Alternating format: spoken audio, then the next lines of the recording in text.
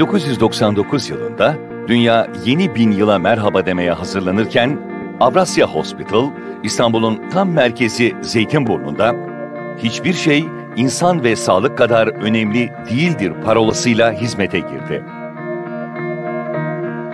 Hastane olarak projelendirilen ilk özel hastanelerden biri olan Avrasya Hospital'ın farkı ergonomik yapısı ve özel mimarisiyle öne çıkıyor, hizmet anlayışında 21. yüzyılında ötesinde bir kalite anlayışını benimsediği fark ediliyordu.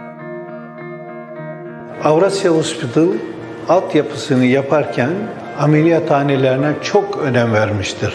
Hastanemizde 24 e, saat çalışabilen 6 e, ameliyathane vardır. Tam donanımlı, düzgün ameliyathanelerimiz vardır. Sağlık ne kadar öncelikliyse insan da en az o kadar değerliydi Avrasya Hospital için. Hasta ve yakınlarının memnuniyeti Avrasya Hospital'ın uzman kadrosunu da memnun ediyordu. Hasta haklarını esas alan duruşuyla ISO 9001 standartlarını yakalayıp Sağlık Bakanlığı, sağlıkta kalite standartlarında da A sınıf hastane olmayı başardı kısa sürede. Ben buraya manuel sandalye ile geldim. Şimdi gördüğünüz gibi ayaktayım. Doktorlarımı, hastaneyi o kadar çok seviyorum ki başım ağrısa buradayım.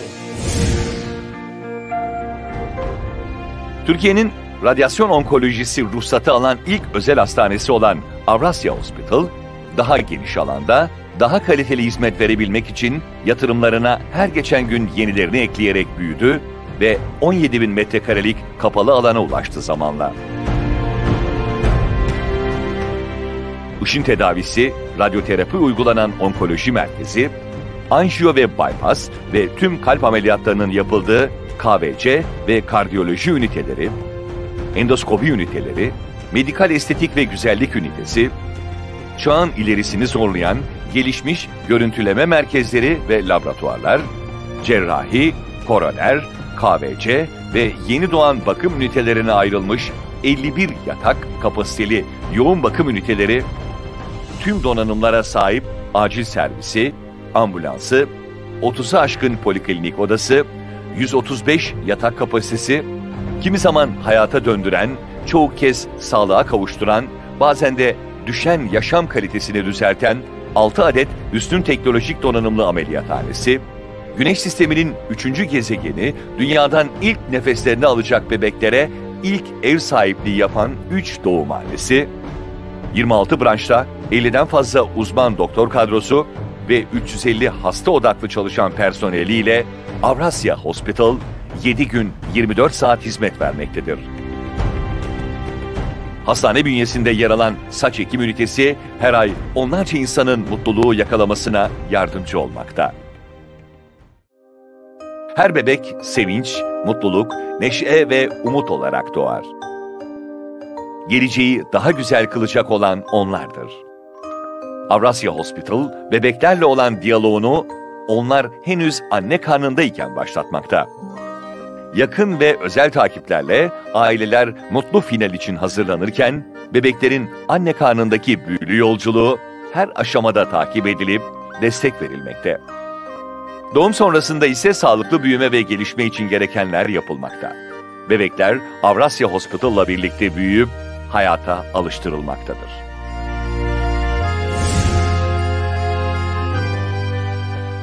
İstanbul'un göbeğinde yer alan Avrasya Hospital, Marmaray ve tramvay yolu üzerinde konumu ile size bir telefon kadar yakın. Bu telefon bir gün hayat kurtarabilir. 0212 665 50 50 Mutlu günler kıymetli izleyenlerimiz. Kanal 58 ekranlarından Şifa Kapısı programımızda sizlerle birlikteyiz. Bu hafta da Şifa Kapısı programımızda doğuştan kalp hastalıkları ve kalple ilgili merak ettiğimiz tüm sorularımızın cevabını Profesör Doktor Ali Rıza Cener hocamızdan alacağız. Kalp ve damar cerrahisi uzmanımızdan. Öncelikle ilk soru olarak e, Ali Rıza Cener hocamıza soralım. Doğuştan kalp hastalıkları nelerdir? Merhabalar. Ee, doğuştan kalp hastalıkları aslında önemli bir konu. Yaklaşık e, bütün doğumların yüzde biri civarında gözüken e, aslında yüzde bir hani azmış gibi gözüküyor ama aslında e, sayıya vurduğumuzda oldukça yüksek oranlarda çıkan ciddi sağlık problemleri yaratan bir durum doğuştan kalp hastalıkları. Doğuştan kalp hastalıkları e, anlaşılacağı üzerine daha anne karnındayken e, bebeğin daha şekillenmeye başladığı zaman bütün güç organları o arada oluşan problemlerden dolayı genelde oluyor.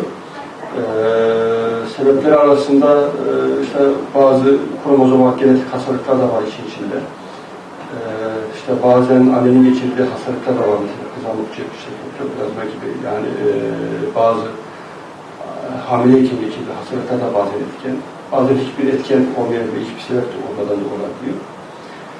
Ee, Anne karnında nasıl tespit ediliyor? Anne karnında aslında şu anda doğuştan kalp hastalıklarının çoğu aslında Anne sürpriz karnında. değil. Anne karnındayken intraüterin e, ekokardiyografi dediğimiz yöntemlerle artık tespit edilebiliyor. E, artık e, eskiden sürpriz oluyordu. Mesela çocuk doğuyordu. işte bakıyorduk siyanozu var. işte ciddi sıkıntıları var. Kalp yetmezliği var. işte emmesinde problem var. Nefes almasında problem var. Ya da morarması var. Daha çok o şekilde anlaşılıyordu ve sürpriz oluyordu. E, artık günümüzde çok daha erken tespit edilebiliyor anne karnındayken. Hatta anne karnındayken ameliyat bile edilebiliyor. İntraüterin e, e, ameliyatlar da yapılabiliyor.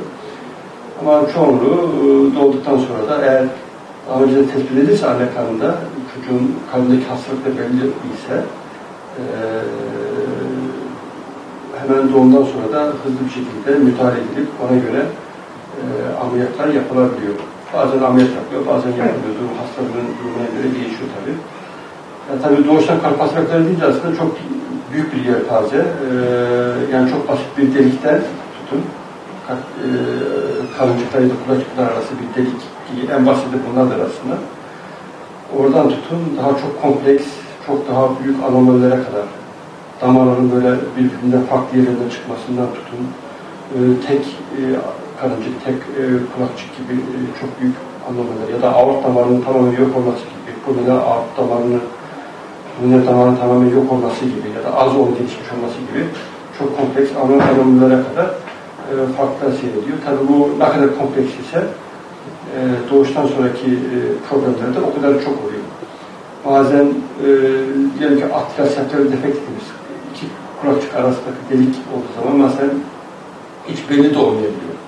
Çocuk bakıyorsun 20, 30, 40, 50 yaşında ancak bazen tesadüfen ekokardiyografiyle tespit edilebiliyor. Bazen hiç böyle belirti vermeden seyrediliyor. Ee, bazıları da dediğim gibi çok kompleks olanlarda e, daha hemen doğar doğmaz morar, morarıyor mesela çocukta. İlk nefes alışına itibaren morarmaya başlıyor. İşte e, emmiyor, e, nefes çekiyor, e, gelişme geriliği oluyor. Bunlar hemen zaten çok kısa sürede anlaşılabiliyor o kompleks anomaliler. Bunların aslında son zamanlarda ilk yıllar, bundan 20-30 yıl önce bu tür ameliyatlar, aslında ölüm oranları aslında çok yüksek, zor ameliyatlardı. Belki fark edilmiyordu bile anne karnında. Tabii tabii, anne bir fark, edilmiyordu. oldu. Şimdi dediğim gibi çoğu yani e, doktora giden, düzenli doktora giden e, hamilelerde e, genelde bir tane e, doğumcu Bir tane intraüterin ekokardiyografi yaptıralım diyor. Genelde yapılıyor. Evet. O yapıldığı zaman zaten bir problem genelde tespit ediliyor. Ee, ama bu arada dediğim gibi kalp içinde ilave olarak bir ekokardiyografi intraüterin yani, e, anne Bebeğin içindeyken, e, e, e, tabii tabii e, kalbin tamamen incelenebiliyor. Ee, ve daha önce dediğim gibi tespit edilebiliyor bunlar. Ve Anne karnında ameliyat oluyor mu hocam? yapılabiliyor. Yapılabiliyor. Yapılabiliyor. yapılabiliyor. Yani çok az yapılan, nadir yapılan işlemler ama yapılabiliyor. İleride de gelecek vaat ediyor. Ee, bir kısmı doğuştan sonra da yapılabiliyor. Yani doğuştan sonra da artık e, çoğu büyük kompleks anomaliler bile e, yani çok düşük ölüm oranlarıyla böyle yüzde iki ile yüzde üç ölüm oranlarıyla artık çok rahat yapılabiliyor. Ee, bu doğuştan kalp hastalıklarında neler demiştik? İşte bir test delikler olabiliyor kalp arasında. Karıncık ve kulacıklar arasında delikler olabiliyor. Ee, bazen işte kapaklarda problemler olabiliyor. Kapaklar az gelişmiş olabiliyor. Kalp kapakçıkları gelişmiş olabiliyor. Kalp kaslarında e, kanlaşmalar olabiliyor. Ee, aort damarında işte az gelişme olabiliyor.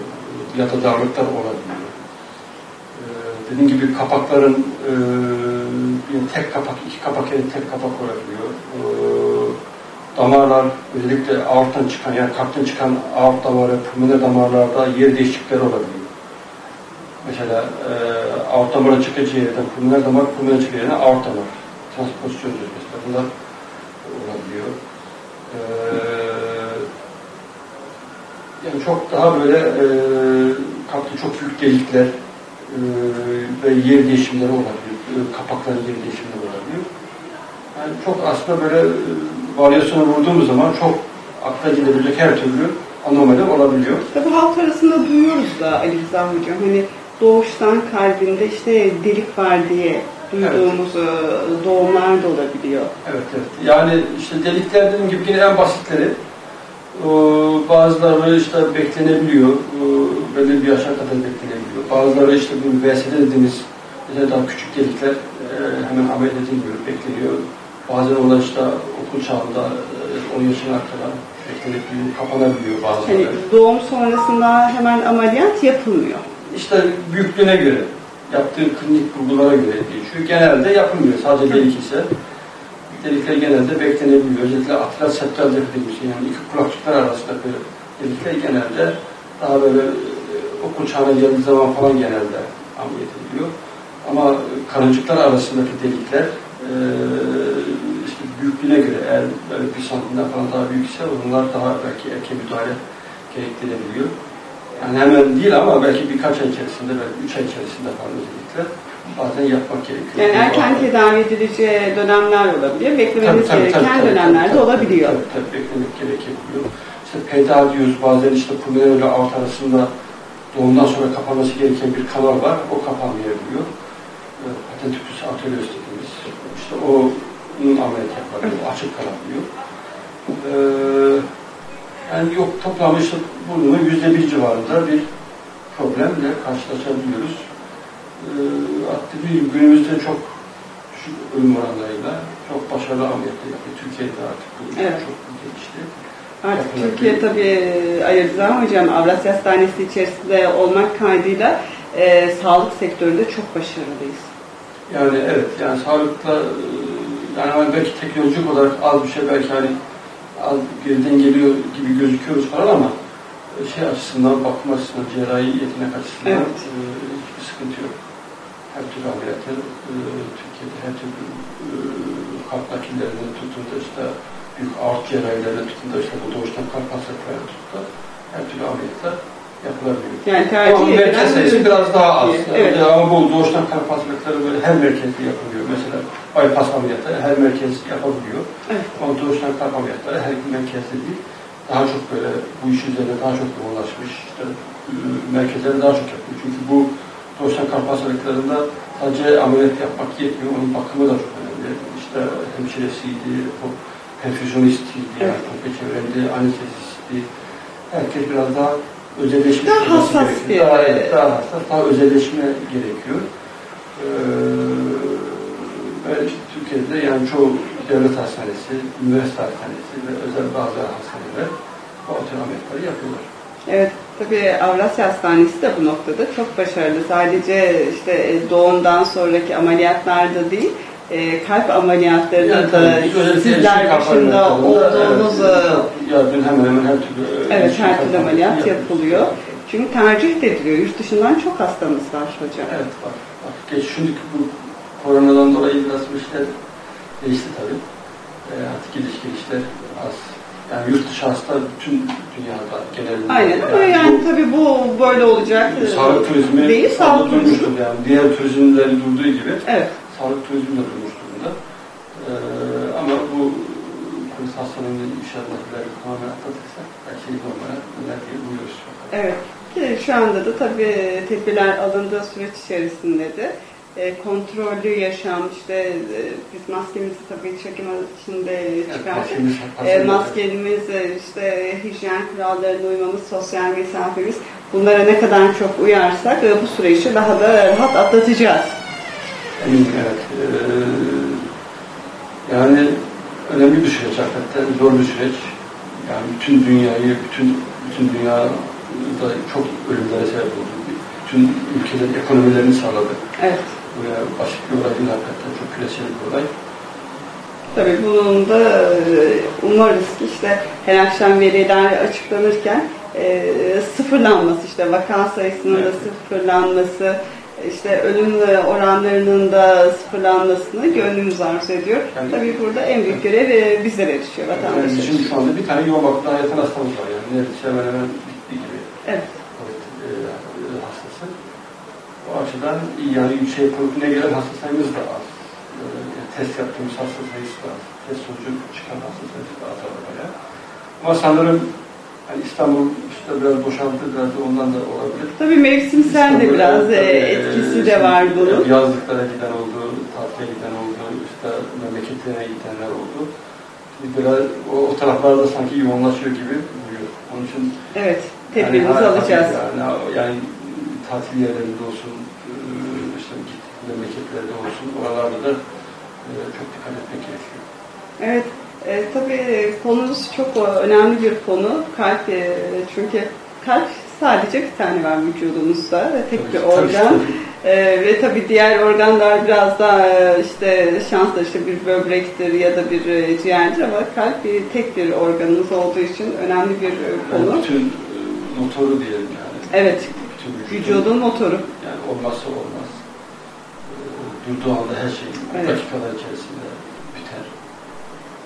E, kalp krizleri maalesef söylemeye gerek yok. Evet, kalp krizi demişken de hocam tabii Çok yakın zamanda da birkaç böyle şu, şu dönemde biraz arttı enteresan bir şekilde. Belki Evet de- onu soracağım. Niye böyle oldu? yani, Yani bu dönem... sebebinin de belki biraz beni etkilediğini düşünüyorum. Yani Çünkü ben de çok duyuyorum. Kalp krizinden de işte evlerden çıkamadılar, işte spor yapamadılar, biraz kilo aldılar, biraz beslenme şekilleri bozuldu, yaşam tarzları bozuldu. Evet. Bir de doktora gitmeye çekindi insanlar. Ya bu da önemli bir etken. Evet, yani evet, evet. Hastanelere biraz gitmemek, doktora gitmemek. artış var. Evet, evet, bir artış var gibi gözüküyor. Yani ben hani istatistiksel olarak çok biliyoruz ama genelde çevremde Tabii duyduğumuz ve bizim de kulağımıza çok geliyor Ali Rıza Hocam. İşte daha dün yine değerli bir başkanımızın Kars Ardahan Iğdır'dan federasyon başkanımızın kalp krizi geçirerek işte hastanede müdahale edildiğini tabii geçmiş olsun diyoruz tüm hastalarımıza da hani gerçekten sizin de belirttiğiniz gibi son zamanlarda bu kalp krizi e, biraz yoğun yaşanmaya başladı. yani çok ciddi bir sağlık problemi. Biraz yani. bundan bahsedebilir yani, miyiz? Yani dünyanın şu anda belki, belki Türkiye'de özel olarak da çok ciddi bir sağlık problemi. Şu anda hala a- ani ölümlerin hala en büyük bir sebebi. Evet. Yani e, Aile ölümlerin e, sebeplerinden birisi, birinci sebebi kalp krizi. kesinlikle. Yani genel ölümlerde de yani çok yüksek oranlarda Evet. ve damar hastalıkları. Yani kanserle başa baş gibi gözüküyor. Yani şu anda insanlar ölüyorsa ya kanserden ölüyor Ya da kalp krizinden ölüyor. Yani, yani ya felç geçiriyor ya işte ayak damarı gidiyor ya da işte e, kalbi gidebiliyor. E, daha çok ölüm sebepleri bunlar. Kalp sağlığımıza dikkat etmiyor muyuz Ali Rıza Hocam? Yani bu genel bir problem var kalp sağlığıyla ilgili. Aslında genel sağlık, genel e, yaşam tarzıyla ilgili problemler var. İşte yeme alışkanlıklarından tutun da, sigara kullanımından tutun da. Hala Türkiye'de mesela sigara kullanımı hala yüksek oranlarda. Mesela Avrupa falan bunu biraz daha azalttı. Ama Türkiye'de maalesef daha az, daha genç çocuklar var. Okul, lise yaşlarında başlayan çocuklar ölüyor. Evet. Sigara kullanımı e, çok ciddi bir sağlık problemi. Çok ciddi bir sağlık problemi. Yani bugün geldi bir tane işte 45 yaşında işte bütün damarlar tıkanmış, bacak damarı tıkanmış. Yani e, Tabii sigara oranı sigara- küçük yaşlara kadar indiği için yaş oranı gerçekten de çok düştü hocam sigara kullanım yaşı. Yani tabii artık 30'lu 40 yaşlar çok yaygın görüyoruz yani.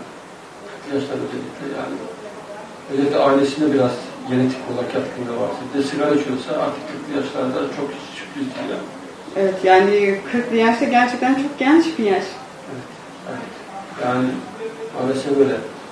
Yani o gelen kişilere bakıyoruz, ya sigara içiyor, ya işte kilosu var, ya şeker hastalığı var. Yani genetik olarak tabii yatkınlıkta böyle, böyle 50 yaşında, 55 yaşında önce kalp krizi geçirmiş, işte bypass olmuş kişilere, yani ç- çocuklarında da e, olan kişilerde böyle risk biraz daha yüksek. Ondan da böyle yani böyle 50 yaşlara geldiği zaman kalp krizi geçirmeleri oradan yüksek ama Yani burada genetik faktörler tam etkili ama esas çevresel faktörler çok daha etkili. Evet. Yani Yani siz birçok Gene- programınızda bunu dile getiriyorsunuz. Yani Yani üç unsurdan uzak durun diyorsunuz. Kilo, obezite, sigaradan e, ve tabii düzenli bir yaşam. Yani düzenli yaşam yani Kalbimiz yani zor. Yani o zor. Yani stresli iş yaşamıyla falan ama aslında çok basit bazı değişikliklerle çok çok ciddi e, sağlık kazanımları elde edebiliriz yani. Ya biraz rahat mı olmak gerekiyor Ali Rıza Hocam? Stres yani evet iyi bir şey değil. Yani biraz daha böyle hayata Biraz- rahat bakmak gerekiyor. Yani, yani bakış açısını biraz daha geniş tutmak lazım. Çok Evet. darlık kalmamak lazım. Çok sıkışmamak lazım. Evham mesela çok yani Kesinlikle, böyle evhamlı çok yaygın. insanlara baktığınız zaman Çok- şey hep böyle stres, evhamlı, Çok çok yaygın. Çok. enerji düşüklüğü Panik atak çok mesela. Gereksiz yere. bu çevreyi de etkiliyor. Evet.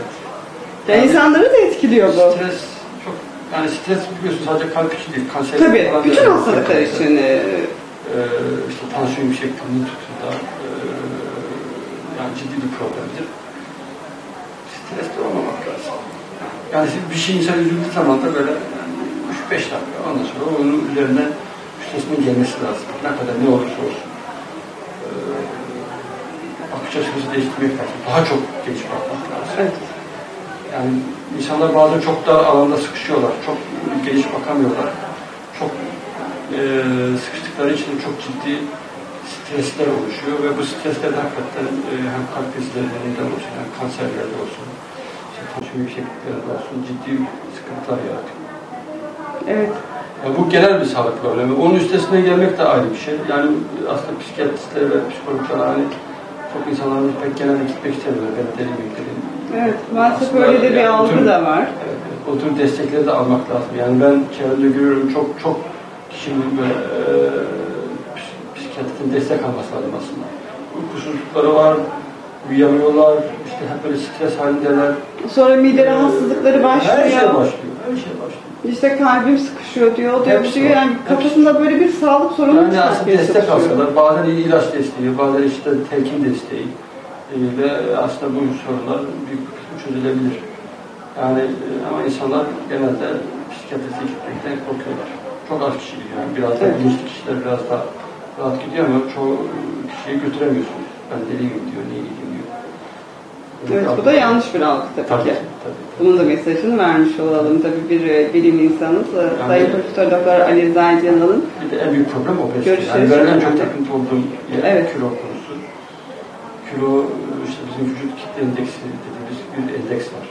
Kilonun boya oranları. Ee, yani kilonun boyun karesiyle bölünmesiyle elde ediliyor. O mesela işte böyle 24'ün 25 üstündeyse işte tansiyon yüksekliklerinden tutun da işte kolesterol yüksekliklerine, şeker hastalıklarına, e, kalp damar hastalıklarına meyil artıyor. Onun için e, kilo son derece önemli. Göbek kesinlikle, göbek çevresinde yağlanma son derece önemli. E, yani insanlar bizim maalesef işte Türk erkeklerinde tabii Evet, aslında övüyorlar bizim göbek erkek kadın diye ayırmayalım ama bu konuyu Evet. maalesef böyle bir algı var hocam yani. Yani aslında kilolu değilim diyor ama bakıyorsun göbek. göbeği var yani. Göbek var ise göbek var ise karaciğerde yağlanma var demek. Karaciğerde yağlanma yani göbek çevresinde ve e, karnın içindeki bağırsakların e, aralarındaki o yağ dokusunda yağlanma var mezotel bölgesinde. Hem orada yağlanma var hem karaciğerde yağlanma var demek. Karaciğerde yağlanma e, ciddi bir problem. Çünkü bizim bütün metabolizmamızı düzenleyen organ karaciğerdir. Evet. Bir de bu şeker metabolizmasını düzenleyen, yağ metabolizmasını düzenleyen en önemli organdır karaciğer. Orada yağlanma başladığı zaman problemler de başlıyor. İşte kolesterolümüz yükselmeye başlıyor, şekerimiz çıkmaya başlıyor. Zaten bir insana şeker çıktığı zaman da geçmiş olsun yani. Bütün damar tıkanıklığı demek. Şeker e, hastalığı demek damar tıkanıklığı. O kadar birbirine eşleşmiştir. Damarları mahvediyor. İşte göz damarları, beyin damarları, kalp damarları, böbrek, bağırsak, işte bacak damarları biliyorsunuz. Ayaklarda yaralar çıkıyor, işte kesilmeler oluyor, işte felç geçiyor insanlar, gözleri görmüyor, işte kalp krizi geçiriyor, kalpten ciddi problemler yaşıyor. Ya böyle yavaş yavaş vücudu yiyor. Tabii böbrek damarları tıkanıyor, işte tansiyon yükseliyor, böbrek yetmezliği gelişiyor. Yani şeker hastalığı çok, son derece ciddi bir problemdir, sağlık problemi. Yani Türkiye'nin ya da dünyanın da dünyanın çok uğraştığı ciddi sağlık problemi. Ee, çok ciddi Dünya Sağlık Örgütü bu konuda çok uğraşıyor. Ee, işte obezite ile savaş. Türkiye'de aslında e, devlet kapından tutun da bütün e, Sağlık Bakanlığı'nın da ilgilendiği ciddi bir problem. Ee, çok uğraşılıyor ama ben genelde yine görüyorum e, yani yine de yaygın obezite oranı e, Türkiye'de yaygın. Çocuklarda çok yaygın. Çocuklarımız çok kötü besleniyor Evet. maalesef. Yani dönüyoruz dolaşıyoruz yine o beslenme konusuna geliyoruz. Evet, evet, Hazır beslenme. yiyeceklere, Evet, maalesef çok ciddi problem. şekerli yiyeceklere, Maalesef. özendirici tatlandırıcılar, e, Yani şeker çağımızın zehri yani. Tekrar söylüyorum. Peki Ali Rıza Hocam, şeker bu kadar zararlıyken çayın içerisindeki tükettiğimiz şekerin zararı nedir? Yani ben şimdi çayın içine şeker yaklaşık 30 yıl oldu bırakın. 30 yıl oldu neredeyse. Yani e, çok zararlı. Çünkü o senin içine attığın bir, bir tane şeker, iki tane şeker, günde 10 tane keresen yaklaşık bir ekmeğe denk düşüyor. Bu ciddi kalori. Yani biliyorsun bir de şekerin yani sadece kalori e, dışında yani e, çok hızlı emilmesi ve insülinin çok yükseltmesiyle o şekerin hızlıca yağa dönüşmesi gibi problemler var. Mesela diyor bir yağlanıyoruz diyoruz ya mesela Evet. göbekte yağ, işte karaciğerde yağ. En büyük sebepleri şeker ve ekmektir. İki tane ciddi en büyük şey. Çünkü en çok kullanılan en çok tüketilen bunlar oldukları için söylüyorum. Aslında böyle glisemik indeksi yüksek maddeler var, besinler var. Onların hepsi aslında bu şekilde işte insülin salgınının artması ve işte yağ dönüşmesi gibi riskleri var. Ee, yani şeker aslında karbonhidrat. Karbonhidrat yemeyeceğimiz diyor. Karbonhidrat tabii ki yiyeceğiz. Karbonhidratı tabii ki ihtiyacımız var. Zaten besinlerimizin zaten yüzde altmışı karbonhidrat olması lazım zaten. Ama işte bu glisemik indeksi yüksek olan e, besinler, özellikle şeker gibi, işte ekmek gibi, e, özellikle beyaz ekmek ve şeker son derece ikisi ciddi e, sağlık problemi yaratıyorlar maalesef. E, işte böyle hamburgerdi, işte fast yemeklerdi, e, işte beyaz ekmekti, tatlılardı, şekerdi, şekerli içeceklerdi. Evet. Hepsi alkol, alkol de mesela biliyorsunuz şekerli içecek. Yani alkol dediğimiz aslında o da bir nevi şeker. Etil alkol dediğimiz şekerin bir e, formu, küçük değişik bir formu. E, yani bunların hepsi son derece zararlı. Karaciğerde ciddi hepsi e, yağlanmaya sebep olurlar. Ve karaciğerde yağlama başladığı zaman dediğim gibi şeker hastalığı, kolesterol, tansiyon, e, hiçbirisi, hepsi e, ciddi problemdir yani. Evet, e, şöyle nitelendirebiliriz işte. E, 10 bardak çay içsek, 10 bardak çayın içerisine bir küp şeker atsak, Tabii tabii. On- yani 10 tane şeker yediğimizi düşünelim. Tabii tabii. Çok ciddi sağlık problemi. Yani genç insanlar bunu zaman içerisinde aslında benim hastalarımla hani genelde konuştuğum zaman e, bırakması e, bırakılıyor. Yani ilk başta çaydan tat almıyorum falan diyor ama işte Aslında ben şekersiz genelde çay daha lezzetli. tabii ki lezzetli. Ama insanlar buna alışmışlar. Yani bir insan önemli olan alışkanlıkları. Evet. Yani işte ekmek yeme alışkanlığı da öyle. Yani ekmek yemeyince doymuyorum diyor.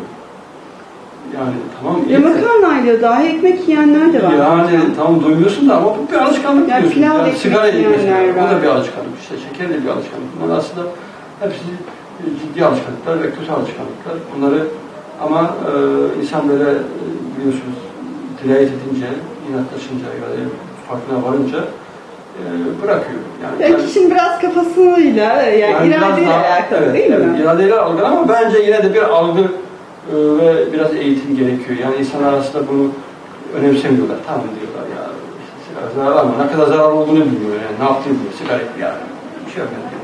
Ben seviyorum diyor sigarayı diyor. Şekeri seviyorum diyor. Ekmeği seviyorum diyor. Ne olursa olsun diyor. Kilo alıyorum diyor. Yani yani aslında farkında değil zararın. Ama ne zaman fark ediyor? Kalp kalp krizi zaman. işte şekere çıktığı işte ayağı kesildiği zaman, işte böbrekler gittiği zaman, diyalize girdiği zaman ama işten geçmiş oluyor. Evet. Felç geçirdiği zaman. Sonra Düşünsene bir sene felç tekrar başa dönüyorsunuz. Yani felç geçirdiği zaman bitiyor yani. hay- Hayatı bitiyor yani. Yani felç geçirdikten sonra ekmekten de vazgeçseniz bir şey ifade etmiyor. Şekerden de vazgeçseniz bir şey ifade etmiyor. Kalp krizi de yine öyle. Kalp krizi geçirdi gitti. Yazık yani. Yani bunlar aslında çok ciddi sağlık problemleri. Yani özellikle şeker ve sigara ve kilo işte obezite e, ciddi sağlık problemleri. Yani Aslında dünyanın sorunu bu Ali Rıza dünyanın sorunu. Hocam. Dünyanın sorunu. Amerika falan daha kötü. Çünkü oralarda Amerika'da artık morbid obez oranları yüzde otuzlarda ama bu Türkiye'de artık böyle yüzde otuzlara geliyor. Yine Türkiye'de hani biraz daha böyle ev yemeği, işte ailemizde Ama işte o yemek yemek bozuldu. O bozuldu vardı. yavaş yavaş. Çocuklar artık böyle ev yemeği falan yemiyorlar. Sen genç gençler git ev yemeği yedir bakayım. Neler yiyorlar? Git bakayım neler yiyorlar. Hepsi fast food. Hamburger falan böyle patates. patates, Hamburger. Yeşillik zaten hayatımızda. Yani çok kötü. Beslenme alışkanlığımız kötüye gerekiyor. gidiyor. Yani bizim çocukluğumuzda falan daha iyi besleniyorduk biz. Biz çocukken de şeker nerede bulacaksınız? Şeker yok zaten ortalıkta. Ee, tam ekmek yiyorduk ama onun yanında da böyle etiydi, balıydı, tavuğuydu, sebzesiydi. Ee, onları yiyorduk. Şimdi çocuklar et yedirmiyoruz. Peki hareketsiz yaşamın da zararı O, var mı? o da çok ciddi bir problem. O da yani e, çağımızın bir problemi. Tabii ki e, yani her şey elimizin altında, her şey giderken arabaya gidiyorsun, işte asansörle çıkıyorsun. Yani e, özel olarak spor yapmazsan ve özel olarak uğraşmazsan ciddi bir hareketsizlik durumu söz konusu. E, yani bu da işte bunu biliyorsunuz sonuçta kilo almada en Evet. önemli sebeplerden bir tanesi bu. Zaten kilo söylemiyorum. Kilo aldığımız zaman işte bütün kalp hastalıkları, kanserler, bütün sağlık problemleri başlıyor. Çok ciddi bir sağlık problemi. Onun için eee işte bazı besinlerden hani uzak duracağımız gibi böyle Evet. şeker ve ekmek gibi, beyaz ekmek gibi besinlerden uzak duracağımız gibi eee, spor da yapmamız lazım. Yani her türlü spor makbulümüzdür. İşte yürüyüş olsun, en basitinde düz yürüyüş, hafif koşu, işte yüzme, bunlar mesela çok da spor. Ama futbol da oynayabilirsin, tenis oynayabilirsin, basketbol, voleybol, aklına ne geliyorsa. Yani her türlü spor, yani evde spor yap, kuş bandı olsun, şu olsun, ne olursa olsun yeter ki e, spor yapalım, bir hareket edelim yani. yani. Yani bunu da günlük böyle bir saat en azından yapalım. Ali Rıza Hocam, tabii tüm dünya olarak sıkıntılı bir süreçten geçtik. Az önce konuşmanızda da belirttiniz. İşte pandemi döneminde, korona günlerinde hareketsiz bir e, süreç geçirdik. Evlerimizde bak, kilo aldık. yani görüyorum ya ben bile aldım yani. Ben bile o kadar dikkat ediyorum. Ben bile 2-3 kilo aldım. Yani işte bu arada spor yapamayınca Tabii o Ee, hareketsiz dönem şimdi biraz daha e, işte evet, kontrollü yaşamda hayatımıza biraz daha işte e, düzene girmeye başladı. Tabii burada e, ya 60-65 yaş üstü e, izleyenlerimize de Evet, maalesef. mesajlar Evet. verelim. O süreci çok sıkıntılı Çok, çok, e, çok yaşadılar. ediyorum. Evlerinde çok sıkıldılar. çok Evet. ve sağlık olarak çok ciddi sağlık Sorunlar da yaşandı. Ama aslında. işte koronada yani yapmak gerekiyordu o dönem. Korona da hakikaten ciddi bir sağlık problemi. Şimdi bazı insanlar inanmıyorlar korona neymiş yokmuş falan gibi. Tabii başımıza gelmeyince çok, Böyle çok, e, e, ciddiye şey- almıyoruz şey, maalesef e, konuları. iddialar var böyle gereksiz yanlış bilgiler dolaşıyor Evet. ortalıkta. Aslında korona ciddi bir sağlık problemi. E, yani salgın dönemi özellikle çok yoğun olduğu dönemlerde ölüm oranları çok şey oluyor. Yani Türkiye Allah'tan yani çok böyle çok sıkıntılı bir şeye girmedik. Yani Türkiye'nin kendine özel e, altyapısı vardı. Böyle özel hastaneler çoktu. İşte Evet. respirator sayısı çoktu. Hastane miktarı. e, Sizler gibi başarılı oranları vardı. Çoktu. Hemşire, yani e, doktorlar zaten hepsi özverili. E, yani e, çok biz kötü atlatmadık ama bazı ülkeler işte İtalya, İspanya, işte Evet. Brezilya, Amerika, işte Kazakistan. Cenazeler caddelerde, çok sokaklardaydı. kötü, çok kötüydü, çok kötü. Yani biz işte o dönem Tabii onların yaş girmeyince bu oranları biraz daha fazlaydı Ali Rıza Yaş Hocam. Yaş oranları biraz daha yüksekti. kadar çok yok. Mesela Türkiye'de oranı şu anda Türkiye'de İstanbul'da sadece 160 tane hastane var. Evet. Yani, yani Almanya'nın İngiltere'nin toplamı tut daha fazladır. Olarak. Yani e, bizim kendimize özel bir sağlık e, programımız var. Hani belki eleştirilebilir hani çoktur, şudur, budur falan ama bu koronada çok işe yaradı bu iş. E, çok onun yüzden çok böyle sıkıntı yaşamadan atlattık.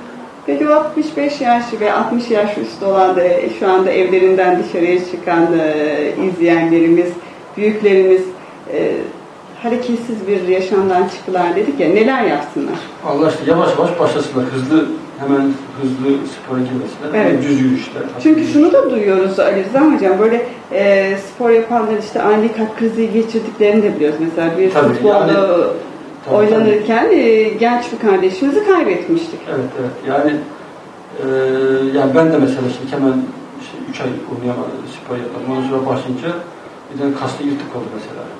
Yani bu kaslı tembelleşiyor, ee, bir şey alışma dönemi oluyor. Onun için bir demir değil de yavaş yavaş başlamak lazım. Neler yapsınlar? Mesela merdivenden Yürüyüş. iniş çıkış. Tabii mesela gün yürüyüş içindeyken mü? asansöre binmesinler. Evet. E, işleri yakın, e, işleri yakınsa evlerine yürüyerek gidip gelsinler. Eğer emekliyse çalışıyorsa her gün böyle bir saat, iki saat hafif yürüyüşler. Daha sonradan belki daha tempolu yürüyüşler ve koşulara başlanabilir. İlk başta böyle çok zorlamamak lazım. İşte Kısa yürüyüşler, kısa o- mesafeli yürüyüşler yapsınlar. spor aletleri var. Onlar da yavaş böyle yavaş yavaş başlayarak e, daha sonradan da böyle bir, bir ay içerisinde de onu daha çok artırabilirler. Tabii hızlı belediyeleri mesela e, parklar Her yerde var, her yerde var. Artık imkanlar yani var. Sahiller bomboş. Tabii, evet. İstediği kadar böyle sahile gelsinler ya da işte sitede oturacak sitenin kendi yerinde var. Eğer yok ise yani yer çok. Ormanlar var. Yani çevrede var. Sahiller var. yani yürüyüş yapsınlar diyorsunuz. Kesinlikle. Kısa mesafeli Evet. yürüyüş Evet, öneriyorsunuz. evet. Yani bir saat, böyle iki saat yürüyüş yapsınlar. Evet. Peki yine merak ettiğim soru Ali Rıza Hocam. Ee, spor yapan insanlarda kalp krizi oranı nasıl? Yani şimdi Kalp spor yapanlarda kalp krizi e, yani çünkü sporda şöyle biliyorsunuz çok, kalp çok hızlanıyor, Evet. e, tansiyon yükseliyor ve kalbin oksijen ihtiyacı artıyor. Eğer e, kalpte bir problem var ise yani e, demek ki damar tıkanıklığı var ise ya da işte kalp kaslarda doğuştan demiştik ya doğuştan kalp hastalıkları bazen doğuştan hipertrofik dediğimiz kalp hastalıkları oluyor. E, kalp kası normale göre kalın oluyor Evet. ve e, o kanın aorttan çıkış yerini daraltabiliyor. Bu tür kişilerde mesela ani ölüm oranları spor yapanlarda biraz daha fazla. Ee, ama yani spor yapmak e, bunun için yani spor yapmayalım diye bir şey değil. O yanlış bir şey. Ee, böyle 35 yaşın üstündeki kişilerde hani spor yapanlarda ani ölümlerde hani kalp krizleri bir sebep olarak gösterilebiliyor ama yine de spor yapmamız lazım. Yani spor yapıyoruz o çünkü çok nadir gözüken bir şeydir. Böyle 30 yaşında, Katılıyor 20 musunuz? yaşında kalp Sizin bir hastanız e, sonrasında maraton yarışlara katılmıştı da Evet evet. ödül almıştı. O ödülü de Evet. getirmişti. Evet evet. Yani spor Onu paylaşalım mı izleyenlerimizle? e, O hastamızın e, öyküsünü. e, tabii işte bir, bu da 40, 43 yaşındaydı Ahmet ettiğimiz zaman.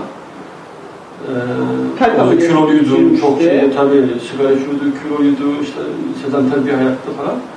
Sonra onunla işte böyle bypass'tan sonra işte konuştuk işte şöyle yaparız böyle yaparız. O da çok uygun bir hastaydı.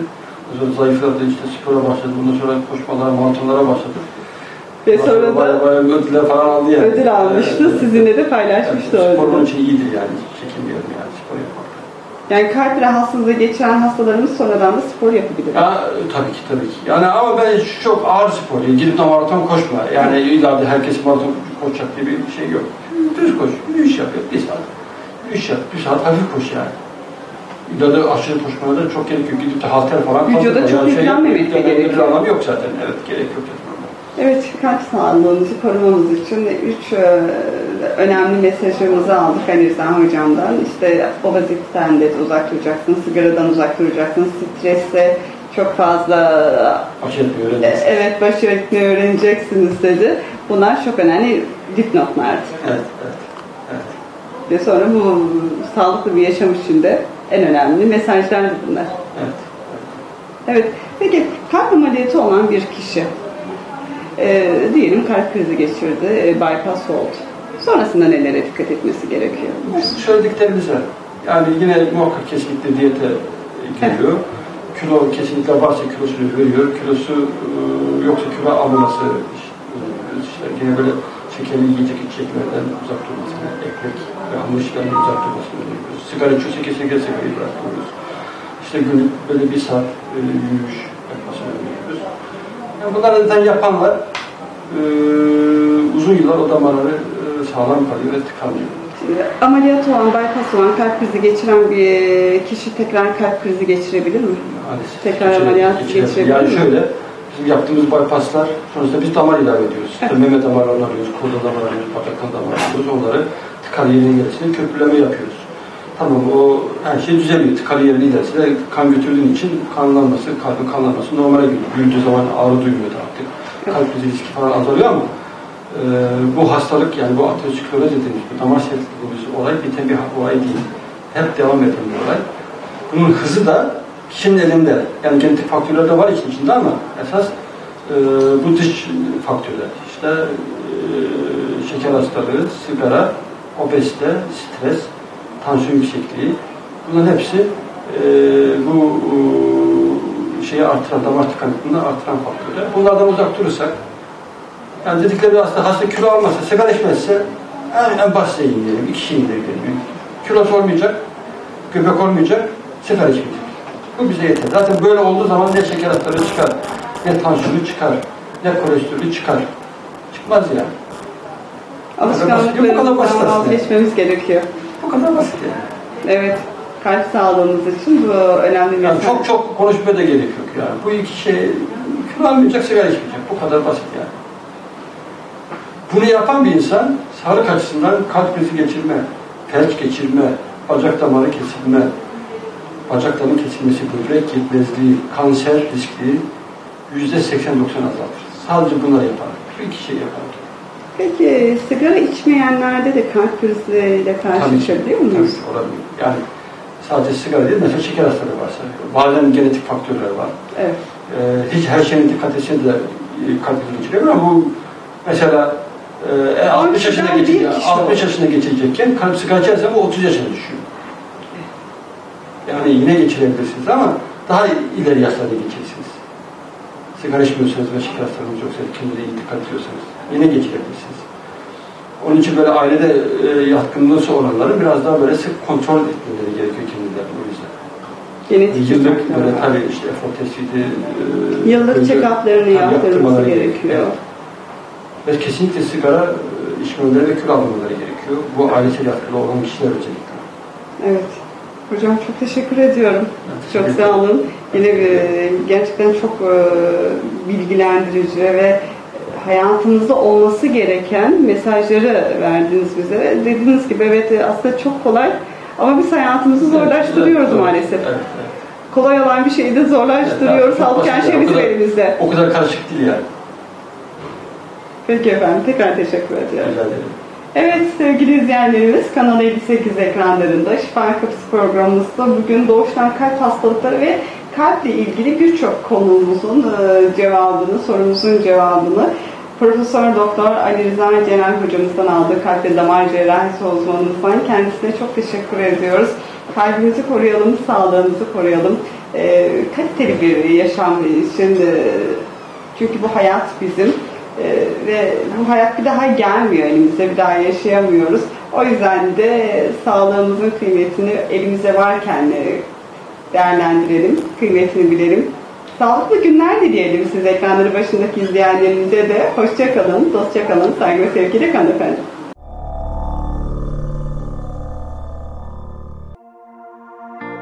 ...1999 yılında dünya yeni bin yıla merhaba demeye hazırlanırken Avrasya Hospital, İstanbul'un tam merkezi Zeytinburnu'nda hiçbir şey insan ve sağlık kadar önemli değildir parolasıyla hizmete girdi. Hastane olarak projelendirilen ilk özel hastanelerden biri olan Avrasya Hospital'ın farkı ergonomik yapısı ve özel mimarisiyle öne çıkıyor, hizmet anlayışında 21. yüzyılında ötesinde bir kalite anlayışını benimsediği fark ediliyordu. Avrasya Hospital altyapısını yaparken ameliyathanelerine çok önem vermiştir. Hastanemizde 24 saat çalışabilen 6 ameliyathane vardır. Tam donanımlı, düzgün ameliyathanelerimiz vardır.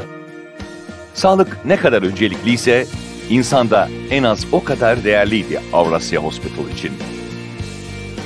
Hasta ve yakınlarının memnuniyeti Avrasya Hospital'ın uzman kadrosunu da memnun ediyordu. Hasta haklarını esas alan duruşuyla ISO 9001 standartlarını yakalayıp Sağlık Bakanlığı, sağlıkta kalite standartlarında da A sınıfı hastane olmayı başardı kısa sürede. Ben buraya manuel sandalye ile geldim. Şimdi gördüğünüz gibi ayaktayım. Doktorlarımı, hastaneyi o kadar çok seviyorum ki başım ağrısa buradayım. Türkiye'nin radyasyon onkolojisi ruhsatı alan ilk özel hastanesi olan Avrasya Hospital, daha geniş alanda, daha kaliteli hizmet verebilmek için yatırımlarına her geçen gün yenilerini ekleyerek büyüdü ve 17 bin metrekarelik kapalı alana ulaştı zamanla. Işın tedavisi, radyoterapi uygulanan onkoloji merkezi, anjiyo ve bypass ve tüm kalp ameliyatlarının yapıldığı KVC ve kardiyoloji üniteleri, endoskopi üniteleri, medikal estetik ve güzellik ünitesi, çağın ilerisini zorlayan gelişmiş görüntüleme merkezleri ve laboratuvarlar, cerrahi, koroner, KVC ve yeni doğan bakım ünitelerine ayrılmış 51 yatak kapasiteli yoğun bakım üniteleri, tüm donanımlara sahip acil servisi, ambulansı, 30'u aşkın poliklinik odası, 135 yatak kapasitesi, kimi zaman hayata döndüren, çoğu kez sağlığa kavuşturan, bazen de düşen yaşam kalitesini düzelten 6 adet üstün teknolojik donanımlı ameliyathanesi, Güneş sisteminin 3. gezegeni, dünyadan ilk nefeslerini alacak bebeklere ilk ev sahipliği yapan 3 doğumhanesi, 26 branşta 50'den fazla uzman doktor kadrosu ve 350 hasta odaklı çalışan personeliyle Avrasya Hospital 7 gün 24 saat hizmet vermektedir. Hastane bünyesinde yer alan saç ekim ünitesi her ay onlarca insanın mutluluğu yakalamasına yardımcı olmakta. Her bebek sevinç, mutluluk, neşe ve umut olarak doğar. Geleceği daha güzel kılacak olan onlardır. Avrasya Hospital, bebeklerle olan diyaloğunu onlar henüz anne karnındayken başlatmakta. Yakın ve özel takiplerle aileler mutlu final için hazırlanırken, bebeklerin anne karnındaki büyülü yolculuğu her aşamada takip edilip destek verilmekte. Doğum sonrasında ise sağlıklı büyüme ve gelişme için gerekenler yapılmakta. Bebekler Avrasya Hospital'la birlikte büyüyüp hayata alıştırılmaktadır.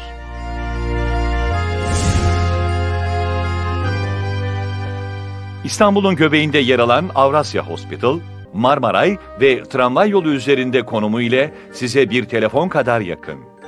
Bu telefon bir gün hayat kurtarabilir. 0212 665 50 50